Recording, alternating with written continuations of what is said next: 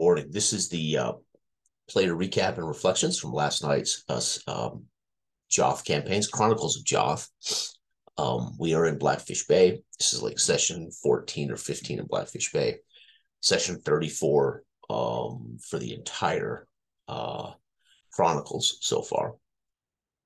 Um, myself is Eric, the 17 year old um, farmer's son um, who's taken up arms to to um, eradicate or to uh, to um, remove a grudge guardian curse from my family's property. Uh, joining uh, Lauren, a uh, fighter, human fighter. That's David's character. Um, uh, Trotter Fingersmith, the halfling, uh, uh, you know, thief. I think is his class. Is Dale's character. Uh, he's he in in a way is responsible for the curse um, that cost me my uh, uh, family, etc. And then, of course, uh, uh, back again, John as uh, Bomrick. Got it right, Bomrick, the uh, dwarf, and he turned out to be again well, well needed, much help, and of course, it's always great to have John at the table. It's always great to have a full party of of characters doing their thing. And uh he, he being a dwarf knows a little bit about this lore that we're dealing with, right? This this thing. So um last we left off, we were um uh excavating. So the only way we can um end this uh, grudge guardian or to be safe from it um, is uh, daytime sunlight uh, renders it um, uh, sunlight renders it uh, dematerializes it or renders it um, ineffectual so to speak. But at night this thing is uh, you know will follow us hunt us and try to of course kill us as it sees us as desecrators of uh, of their tombs. Um, uh, okay, which of course uh, we we are, but we aren't. you know, we, of course we are, but you know, uh, to us, uh, it's you know, it's um, okay. So, uh, uh, sorry, I haven't had my I haven't had my coffee yet this morning. So hold one. All right. All right. So I got to get my coffee flowing here. Okay. So we're in our third uh, day, I think maybe a day and a half of uh, paying uh, a crew, a ship crew, to join uh, six civilians, which as deputies who had been um, vandalizing and had uh, had uh, kicked the local priest from the village and had tried to uh, had been protesting and trying to destroy the church in town. We, as deputies, uh, had arrested them and uh, uh, uh demanded they show up and dig at uh, to excavate this tomb. So, our plan, if we excavate the tomb, we can put light upon the entire tomb uh, during the day and rendering it ineffective. Ineffective. But we need to. There's a certain thing we have to do to destroy the curse to to to end this beast, according to dwarven lore. And Bomrick seem, seems to understand and know that ritual, what we had to do. So this is how we came up with the idea that we needed to excavate and shed light on the area, and uh, uh, particularly on his bones uh, to uh, end this curse. Okay. So uh, Arig marched off uh, a certain a certain distance from the mouth of this tomb that he could recall f- from his adventures inside the tomb, where he thought we should begin the excavate. Uh, and this was at an area of, of a crossroads uh, area uh, where Jocko, my former character, had been killed by this creature. And then from there, uh, we didn't know, we hadn't gone further. So we really didn't know where the bones would be buried. But uh, Eric had walked off that paced off that a distance and set them at the corners and said, start digging down and in toward this Spartan. We'll we'll just go from there. So um, they broke ground, um, shedding light inside the chamber at the end of session 33. So session 34, we start um, deciding, you know, how what do we want to do now? Do we want to keep digging? Do we want to investigate? And Aerig stuck his head in, threw a torch down, and could see Jocko's body and knew we were in the right place, and uh, you know, let them continue to dig. We um we uh, uh have Bomrick walk up on us uh, and we greet Bomrick. We show him, um, you know, he he sticks his head in and checks around inside the chamber. Uh, after much uh, uh debate, we decide we should. He, he wants to go into the tombs and further investigate and and maybe try to assess some things. And uh, so we decide we'll lower him in right there, save some time instead of him going through the front door of the tomb and navigating back to this area. We'll just lower him down on a rope. So I and uh, Lauren and etc. lower Bomrick down uh, into the tomb, and he begins to look at the murals and investigate uh, the murals on the wall, trying to make sense of it and out of the darkness uh, comes the, uh, the, the the the grudge guardian and attempts uh, and we very quickly we win initiative and uh, we we just pull Bomrick up as a unit. All of us heave him up off his feet and out of the range of this swinging angry uh, cursed dwarf. It's basically a court it's a it's a manifestation of a grudge. Guardian is a dwarf. So Bomrick hangs there, feet dangling as this thing tries to strike him, and it can't come within the sunlight. So it's kind of outside this the range of sunlight there. Um, Lauren um, asked if anybody has a mirror. And uh, Aerig says, yes, my mother does. A hand mirror that was a gift from my father when he traveled to the big city. He brought it back to her, and it's it's in the house. Uh, again, this is my property. This is uh, Aerig's family's property. And uh, uh, we agree um, we should get that. So uh, Aerig um, uh, asked, or thinks to send uh, Lauren. Um, and I think this might be when Bomrick, no, Bomrick was already there. Uh, so anyway, Aerig turns to run back to the farmhouse to retrieve this mirror, his hand mirror. But along the way, he sees out of the corner of his eye that his family uh, has been dug up. The bodies have been uh, uh, exhumed and tossed about. Uh, and that, that arrests me immediately as Aerig. And, uh, uh, you know, I, I, I, stop what I'm doing and I head over to my, my, my, my parents, my siblings. And, you know, Aerig is, this is, you know, again, further horror and trauma upon Aerig as he's already had to deal with his family murdered by this beast. Um, now to have their bodies exhumed and tossed about uh, we we know Aerig believes uh, uh, also the bodies of the two adventurers that desecrated the tombs have had this happen multiple times.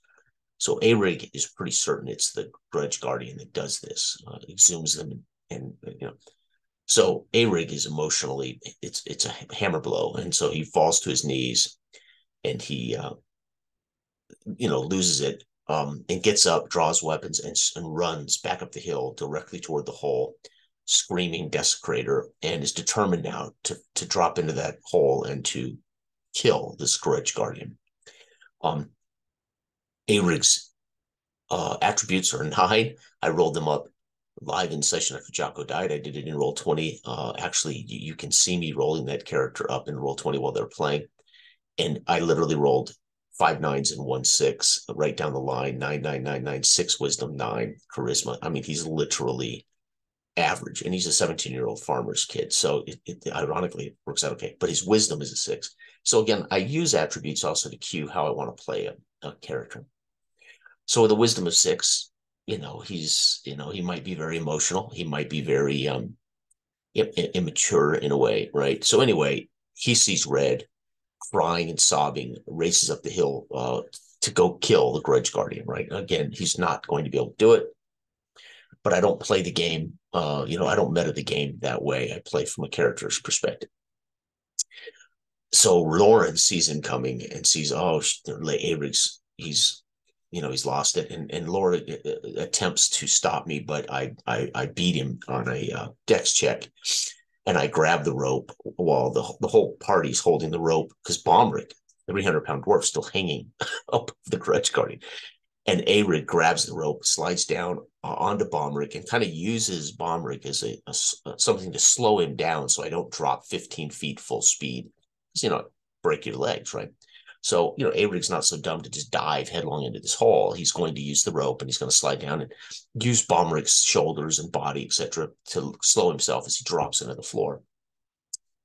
And uh, we have a melee there, but um, the creature, because I'm standing in the sunlight, the creature can't hit me. So his his axe will dematerialize right as he would hit the sunlight. But twice, uh, had I not been in the sunlight, it would have uh, it would have ultimately badly wounded me twice at the minimum, if not killed Arig again. So this is my third time Arig is fourth time Adric has been face to face with this creature. and He can't harm it really. And the creatures somehow managed um, dice. You know, this is what I love about this is where the game, this is where role playing gets gamey, is in dice, is in random variables like dice. Because I don't, and I've had this discussion before. I've I've been very honest about this. I don't think role playing is a game role game role playing has game elements that's what makes it you know and it's social etc but it's not a game by the by the strict term of game right and game of chance is not the same as a game right but the point is uh this really for me uh very uh you know angry i'm angry i want it i want it dead i i have, i am tired of this trauma and this this psychological you know torture that we've been under, you know, uh, but especially, des- you know, digging up my mother and father again. And, you know, so Arig, you know, in a fit, has this melee with a grudge uh, guardian. It can't hurt me, fortunately, but I miss it multiple times. And on the third or fourth, Bomrick throws oil into the room, uh, bursting like a like a hand grenade. Uh, lit he lit oil on fire. Throws a Molotov cocktail, for the lack of a better term, behind it and uh, it uh, it doesn't appear to have affected this this uh, grudge guardian. Um, Avery takes advantage of that explosion of light, etc., throws his stuff down and grabs the grudge guardian, pulls him into the light. And fortunately, I succeeded grabbing his beard and his his his body, and, I pull him into the light, and he dematerializes instantly. And again, Arig, uh, you know, frustrated and uh, heartbroken, that he can't stop this thing, he can't hurt this thing. But at the same time, somewhat relieved that he's still alive, falls to his knees, sobbing in the dark, in the in the sunlight of this tomb. And Bomrick lowers himself down, pats, uh, you know, pats Abrick on the back, says, "You did good, kid. You did good, kid." Me and I describe how there's snot, and you know he's just sobbing, and uh, you know uh, I tap his hand with a snotty hand, and uh, you know uh, he gets up and he uh, composes himself enough to grab up his shield and sword and uh, you know covered in you know having red eyes swollen etc as he is you know at his wits end with this situation he finds himself in. So we uh, get the mirror uh, we send trotter to the house since arid was was uh was uh curveballed so to speak uh, as arig uh, never got to the house to get the mirror trotter goes into the house to get the mirror Trotter returns with the mirror, gives it to Lauren, and Lauren or gets to Bomber. Bomber starts reflecting the sun around the room on these jewels on this map. So this map is a mural. It's a it's basically it would be a uh, it would be a panoramic view of the, the Sunder Mountains uh, with all of the tor- dwarven towers of lore. Uh, and on this mural in this tomb uh, are jewels all of the walls that that that highlight stars i'm assuming or other things but the mural wraps 360 degrees around all four corners of this of this uh, tomb and so Bomrick is is reflecting sunlight onto these areas and he does. He manages to hit one that lights a beam that lights a spot at the base of the sunder mountains. And uh, we get a pick down. Uh, takes control of the mirror, keeps that spot lit, and uh, Bomber, for the lack of a better term, or you know, decides, well, this could be a, just a map telling us where to look, but just in case it means here in the tomb, he takes a pickaxe to that spot, doesn't really get anywhere. Uh, but the but the ceiling now has been slowly caving in. By the way, so on every turn, Todd rolls to see if this this ceiling that we've excavated a hole into the tombs collapses. So we know we're living on borrowed time, but but there's a when he hits that pickaxe and, and more falls, we decide we better get out of there before the, the ceiling collapses in on us. So we get up and out, um, and we begin a conversation. What do we do now? I mean, we only have so much light. We only have we have 14 diggers. We can't continue to excavate this because we're we don't know where the body of this grudge guardian lay. Um, the ceiling's going to collapse. We stay up here trying to dig it, dig dig it up from the from you know we're trying to dig up something we're standing on that's clearly going to give way and cave in, which would not be good. We'd be caving in all of this earth and filling up the tomb, which is not something we want to do. So they stand around and discuss this at the top of the tomb. Well, they they all kind of evacuate the area and get to the edges, and they have a conversation about where do we go? Maybe we should walk off the distance, etc., etc. And it's and Arid leaves to cut to um, to get his family's bodies um, uh, straightened up. And he starts to build a, a pyre. Uh, he decides, I'm not going to bury them so they can be uh, forever uh, desecrated, for they, so they can forever be exhumed and you know not allowed to rest. And so Avery decides he's going to give them a, a funeral pyre. He's going to build a funeral pyre, and he's going to give them a cremation burial. Um, uh, because I'd rather that than do, have to bury them every day. And if we never can stop this grudge guardian, then they're doomed to be to, to rot in the sunlight. Uh, you know, basically. So Avery decides he's going to build a funeral pyre. And I'm doing that while they're having this powwow and they're discussing what do we do and how are we going to do it. And they're talking about all this stuff. And they don't even realize Avery's wandered off and is doing this. And at some point, Todd asks, What's Avery? What do you think? Or somebody says, or Lauren says, Avery, what do you think? And that's when they realize I'm down the hill working uh, away and they leave me be as I prepare their funeral pyre, which is very cool. They decide that they're going to shift down west past the doors uh, and uh, these doors of a room we have not been in. And um, they're going to, for the lack of it, they're going to make a guess, a, a best guess that this could be the dwarven burial chamber since it's the architecture of the tombs is very much like where we found the elf burial chamber. This is just north of that. Uh, and so logically, they assess that this is probably where the dwarf is buried, right? So they they move west, you know, about 40 feet or so, whatever, and they start to excavate over those doors, um, uh, basically shed light into that chamber. And Arig, of course, uh, gets the pyre lit and uh, stays with them while they uh, they while they burn and get fully uh, burning. Says a few uh, mumbled prayers, and then uh, I return to the top to help dig, etc. Trotter, meanwhile, has left because he has an idea, and he takes some of his crew uh, and Stallworth, his captain of his boat.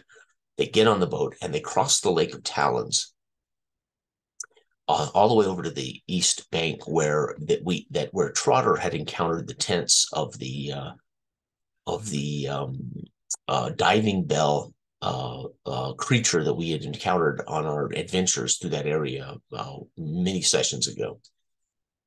because Trotter wants to find out what that hose was, what what Arig had thought was a serpent this, that, that went from the tents down into the lake. Uh, Arig thought was some kind of serpent but Trotter had got, gotten a closer view of it from where he went because he wandered down to the tents, got a closer view of it. It was it looked as if it was eel skin stitched together. So he wanted to go see if he couldn't find out more about that and get that. So he has an idea of to, to do something with that eel skin. When he gets there, he finds the camp's gone. Uh, somebody has hurriedly packed it up and left remnants of their camp. Um, and there's about 20 feet of this eel skin um, hose available for Trotter to g- gather up and uh, he, t- he he pulls that up as an example, and he might be able to find someone in town to maybe make another one. And so he he comes back. He gets back about the time uh, that we are uh, now into the um, uh, dwarven uh, tombs. Well, we decide actually, I take that back. We decide um, we do not want to uh, uh, be here too long uh, with sunset because that the dwarven grudge guardian when sunsets manifests itself wholly and we probably couldn't stop it but uh, one thing's for certain even if we beat it uh, it'll just dematerialize we'll never kill it this way so we go we all get back on the boat we go back out in the safety of the, of the lake and we this time we go north up the lake uh, and, and rest uh, away from the grudge guardian who uh, will follow us to the water uh, and bellow all night long and we can't sleep while he's doing this. So the next morning we return we disembark we go back and we complete that uh, excavation shedding light on, on on the area. We peek our heads in and sure enough we can see a uh, dais with a with a tomb or a casket on the top of it. It is dwarven in uh, make. It is dwarven in length. It has dwarven writing on it. So we know we found the place of a buried dwarf, and we are pretty certain this is our grudge guardian cursed for eternity to to to go after anybody who desecrates the tomb. So Bomber and I decide, Bomberick and I, excuse me, Bomberick and I decide to drop in here uh, with a torch, shield in hand, and attempt to get this casket open or get it exposed to sunlight because again the lore uh, according to the dwarven uh, rich uh, lore and according to Bomrick's recollections of this from uh, the first time we ran into this creature of what must occur to, to end it is exposing the bones to the sunlight okay? Easy right? Well in, in the darkness the grudge guardian comes for us. Uh, it fails again to hit us because we're standing in the sunlight so we're navigating this tight space, uh, somewhat in the dark, but somewhat in the light, and we're trying to get the casket into the light or trying to get the bones into the light, etc. Meanwhile, while Bomrick is investigating and reading what the runes on the side of the, the uh, casket say, uh, as uh, Lauren flashed the uh, with a mirror, flashed the light upon uh, the Grudge Guardian and made it dematerialize. So we're kind of catching our breath as this thing again came out of the darkness, kept trying to fight us. Uh, he's reading this, and as he reads this, a uh, uh, a, a, shadowy, uh, tendrilled, long arm reaches out of the darkness at Bomrick, which I'm able to uh, uh, shun away with my torch because I have a torch and a shield lit just in case, and it it it retreats back into the darkness. And we've seen this thing before uh, uh, as uh, Jocko had turned this shade as it tried to reach out of the darkness and grab characters uh, as we've journeyed to this tomb before. Um, however, and uh, Arig was the torchbearer in that group, so um, Arig, we would have seen it. Everybody, even Bomrick would have seen this uh, creature. So we, anyway, he waves the torch at it. Unfortunately, it retreats. And um, we decide let's pop the top of this casket and and get these get this moved or get these bones moved to the sunlight. So as uh, we pop the casket he describes what we see. You know there he is. There's the uh, entombed dwarf with his helmet on his lap or uh, you know in his uh, arms. He's wearing a golden mask uh, uh, over his face. He is armored. He's got he's buried with stuff you know. And from the darkness again materializes the grudge guardian and comes after us again. And um, uh, we win initiative. And so uh, i grab the helmet and throw it at it because again a really, really wants to hates this thing and wants it gone. So i throw the helmet at it and then i grab the golden mask and i throw the golden mask at it while bomrick is retreating into the light. Uh, so here i'm kind of staying in the darkness with a torch and um, with one and on the other hand i'm throwing the Grudge Guardians, it's his own body, his own parts at it. And Bomrick says, "No, the bones. Grab the grab the body, throw the throw it into the sunlight." So Bomrick reaches in and successfully scoops up this dwarven uh, skeleton, the body, and he pitches it into the sunlight. And with a terrifying, woeful scream, the Grudge Guardian uh, dissipates uh, Arig, I describe Arig so elated with this uh, that he throws down his shield and his torch and, and hugs Bomrick and tries to pick him up. You know, like he wants to hug him and pick him up, celebrating, but he can't. You know, Bomrick's 300 pounds. He can't get him off the ground, but he squeezes Bomrick in celebratory because for Arig, finally, this is over. We've killed this thing. We're safe. I can't believe it. It's done. It's over. So we celebrate. We go through the we go through the uh, uh, uh, tomb we find all of his treasures, uh, the chainmail and, and axe and helm and everything go to uh, Bomrick. We find four treasure vessels, clay vessels full of gold, uh, and a couple other things. A silver vial of some kind of silver liquid, which uh, Aerig puts in his backpack. Don't we? We don't know what it is, and Avery kind of just uh, wow and throws it in his backpack, not really thinking much about it. Uh, matter of fact, I'd forgotten about it at the by the end of the session, but it's in the set. It's in his uh, backpack and we come up out and we are celebrating ultimately, but we're not certain that he's dead. So we're going to be careful. We'll probably have to get on the boat again tonight and see. But Aerig uh, fully believes this is over. Aerig is 100% believes we have we have done it. And Aerig um, makes an offer to Trotter that he would sell the house and the land to Trotter for a hundred gold pieces for his share of the clay pots. I want your clay pot with 100 gold. Uh, I've already got my clay pot, but I want that. And Avery explains because I can't stay here. I mean, I've I've suffered too much here. I thought I could, but after my parents and you know, and after seeing their bodies desecrated and and and all this, there's no way I could live here, right? So um, I'm willing to sell the deed to the farm and the house to to Trotter for 100 gold. And uh, Trotter immediately accepts the deal, says, "You got it." And uh, uh, uh, just announces that he he I will not be living here. I will not be trying to I will not be trying to make a life here anymore. Uh, meanwhile, during the session, uh, one of the neighbors' boys, my age, uh, age, seventeen, comes running up, and this is uh, while Arig is building the funeral pyre and he's in a huff and he says uh, i need help i need help. Tad my little brother is uh, my my brother is sick. And i know these two kids because they're neighbors and uh, they would have known A Rig, they would have worked with A Rig, they would have played with arig. They're you know so arig of course is in no is in no his own no mood. Arig is the same person the same kid but he has seen some horrors. So A Rig is like uh, suddenly an adult right um, with this kid zach so Arid kind of slows him down, pats him on the back, and says, "What is it?" And he tells him, and he says, he, I, "Arid barks up to Trotter, uh, the healing drought that you purchased from Ingrid. I give it to Zach. Let him administer it to his brother."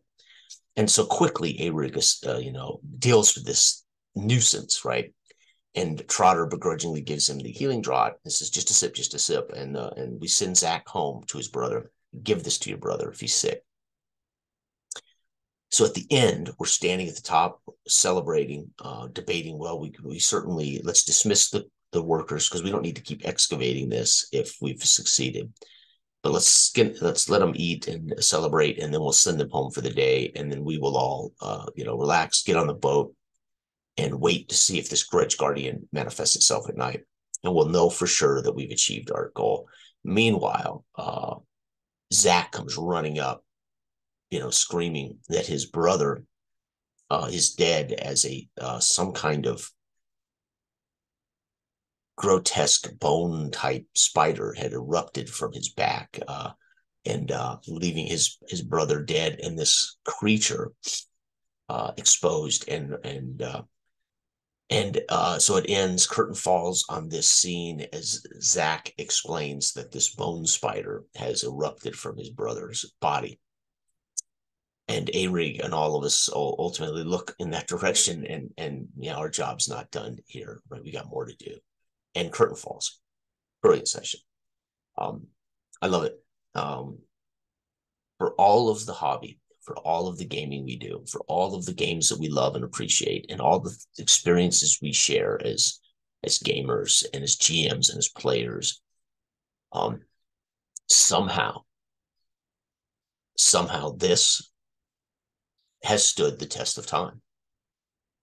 Uh, what we are doing is 50 years old, and um, how we're doing it might be tweaked, might be slightly different, but there is a reason this D20 OSR game, which is Moldvay, uh, basic D&D, expert D&D remastered, uh, is still provides a phenomenal experience. And we can, you know, there are people who want to denigrate it. It's murder, hoboism, it's not uh, the, the, you know uh, people attach um, they attach their own their own baggage to these things uh, and they want it to be different they want it to be what they want it to be. And i've always said pick pick a game that works for you pick the people that work for you and go do that. You know why are you wasting your breath telling other people they're playing wrong? Why are you telling don't waste your breath telling people they're playing the, a bad game?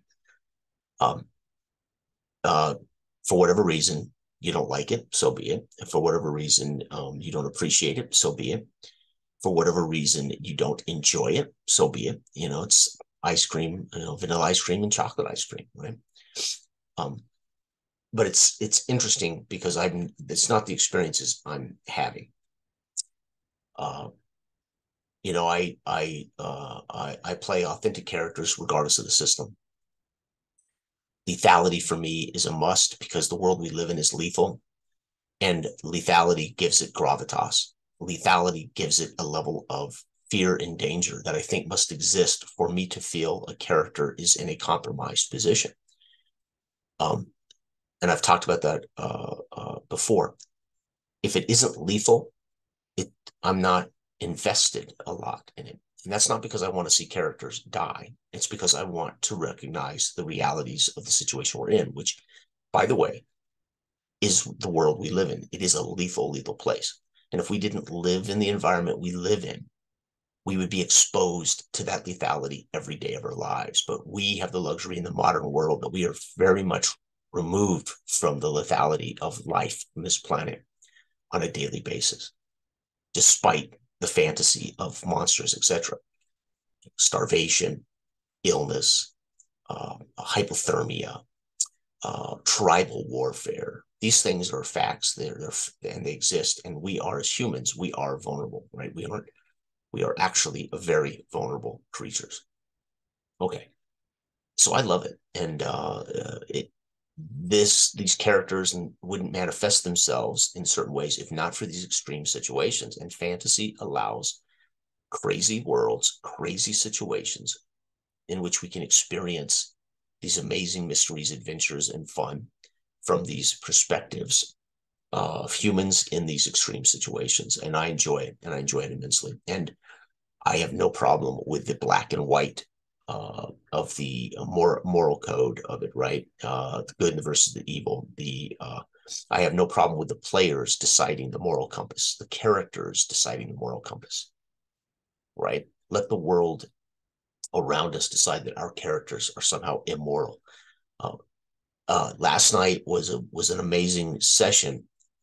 As as Todd just out of the corner of your eye, you see your families being dug up and and uh, and of course, my response was, damn it, you know. And meanwhile, uh, I, you know, Avery begins to call the the grudge guardian a desecrator. So I'm screaming desecrator as it's screaming desecrators.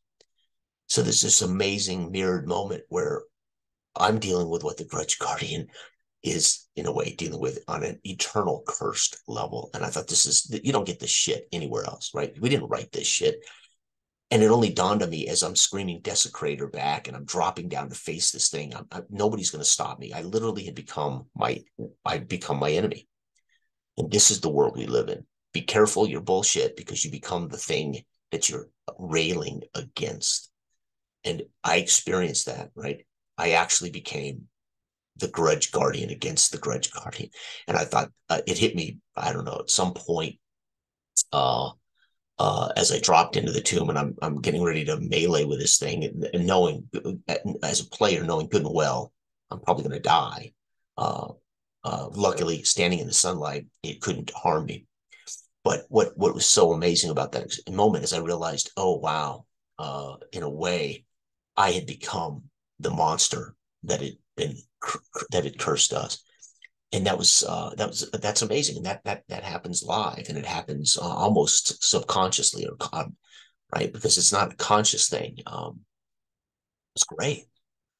And um, so say what you want about what we do in old d&d say what you want about what we do with the OSE with the old school osr retro clones. Uh, we are experiencing amazing characters and we are experiencing amazing events and we are uh, we are experiencing these uh, uh, system and all, uh, despite uh, you know the the, the so-called observations about why it can't be better than it is, and I disagree with that. It is. There's a reason it's been around 50 years. There's a reason people still play it. There's a reason there's hundreds of OSRs that are that try to provide uh, other uh, these same things with slightly t- different tweaks, homebrews that are published as their own thing. It's remarkable, and there's there is a reason why we're still doing this. There's a reason why it's still fun. There's a reason why it works. Um, the game and the people you play with, uh, that's the big deal, right? So I've said, I think it starts first with who you play with. Um, I don't care what game you choose. If you play with the wrong people, if you play with people who are murder hobos, if you play with people who are, you know, bastards or, um, you know, goofy or whatever, you're, you're going to have a different experience. If you play with the right people and you pick, uh, you, are playing with the right people and you're picking uh, the, the, the kind of genre and subject matter and games you want to enjoy, you're going to have great experiences. And I've said before, nothing like a great book. Uh, I'm a film guy, so for me, a great television show or a great movie, for me, it can be the epitome of uh, of experiencing story. Uh, literature is second for me. Uh, I didn't grow up a reader; I became a reader later. But film and television for me is the is the for me the apex of experiencing stories. Literature, of course, role playing changes that. Uh, it elevates this to an experience as opposed to witnessing a thing to be to experiencing the thing.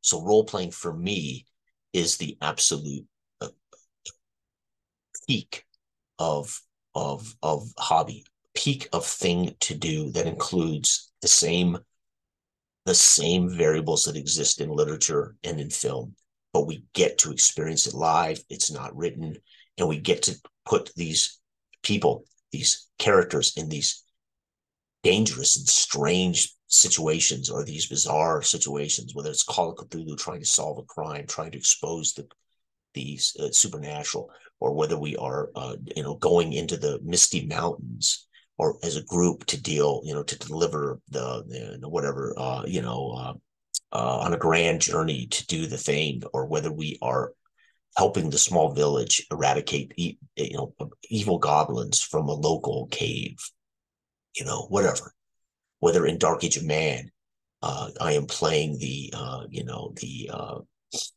uh the local uh, uh, what am I trying to say here? Local soldier for the Lord's garrison who wants to elevate you know, has spec. You know, he wants to improve his lot in life and will endeavor to do other things as a mercenary to do that, right? On, be- on behalf of the Lord, etc. And um, uh, it's it is it's fantastic. So again, thanks guys. Great session. Uh, I think I did the recap pretty good. I'm a little tired and uh, um, um so I got a little brain fog. Uh, antihistamines. It's allergy season for me, so creates a little brain fog. So I'm not 100%. But anyway, thank you everybody watching. Uh, I hope you uh, I hope you guys had as much fun as I do, and I hope you guys appreciate these uh, recaps. Uh, keep you up to speed as to what we're doing. All right, bye.